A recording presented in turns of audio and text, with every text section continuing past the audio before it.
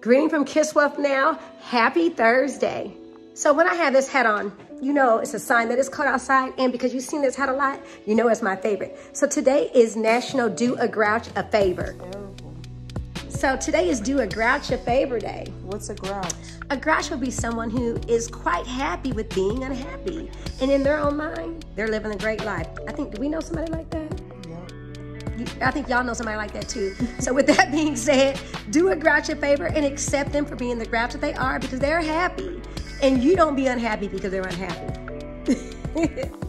and last but not least, it is Fat Thursday. I think everybody can participate with that. Can you participate? Yeah. so on Fat Thursday, indulge, eat what you want, don't even think about it. And it's cold outside, so it's easy to have a Fat Thursday. So, with that being said, Fat Thursday is going to be best in your own home. So, y'all do not forget to Kiss Wealth Now for your residential and your commercial needs. Bye.